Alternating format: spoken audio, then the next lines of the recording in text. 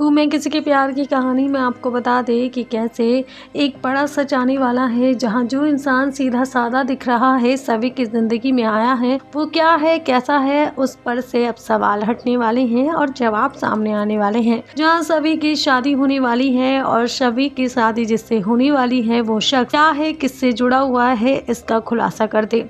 दरअसल ये शख्स भोसले परिवार से जुड़ा हुआ है और इस शख्स का असली चेहरा सामने आने वाला है, जो अभी नाटक कर रहा है। सीधा साधा होने की कोशिश कर रहा है और जैसा सभी को परिवार चाहिए, वैसा बनने की कोशिश कर रहा है। लेकिन ये कोशिश सारी नाकामयाब रहेगी जब सभी को पता चल जाएगा रजत के द्वारा, क्योंकि रजत ही सभी को इस बड़ी मुसीबत से बाहर निकालने वाला है। वह आगे की अपडेट जानने के लिए सब्सक्राइब कीजिए हमारा चैनल।